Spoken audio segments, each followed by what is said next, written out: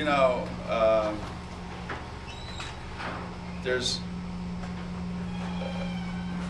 you know, we've reached, the- we've reached a level here that, what am I supposed to say that's newsworthy? Seriously. What could I possibly say that you guys would go, damn, man, I haven't heard him say that. He said they're gonna be really good. How many times have I said that? He said they got a chance to win a national championship this year. Wow. Front page news? I don't think so. So there's nothing I could say that's gonna change uh, what the expectation level is here. The expectation level is, we should have won a national championship last year. You know? We're up two with 11 seconds left. and Maybe we win that game, maybe we win the next one. Who the hell knows? Um, So, of course, the expectation level here is to win a national championship. But that's every year. Some years you just have a better chance than others.